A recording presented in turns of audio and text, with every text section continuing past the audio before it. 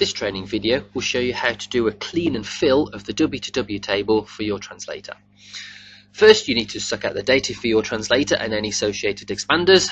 Right click on System, choose Properties and then go to the W2W table. As you can see here I have some devices on my translator and some devices on an expander and a deleted device. So to do a clean and fill, right click anywhere in the table and you have the options automatically fill and clean. The first one you need to do is clean the table. So click clean and a little message comes up saying are you sure you want to clean?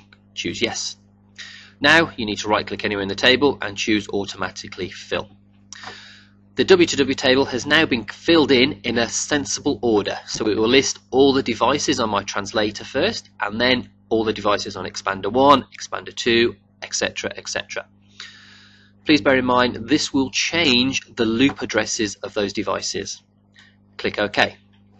Now I need to tell the translator about this change, so I would right click on translator and choose program.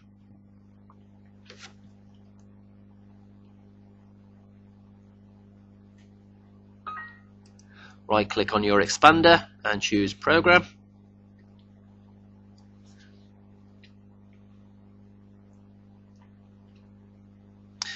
This is telling me that my expander is not actually connected. Um, it is only connected wirelessly. Should I proceed? Yes, I can. This will take about 10 seconds to complete.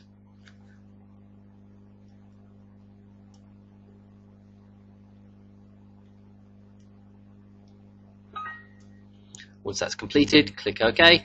Then I need to program the translator one more time Once that's completed, click OK.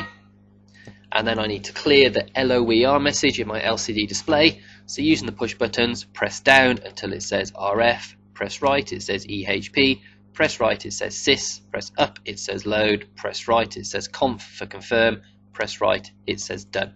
Press left until the screen is blank.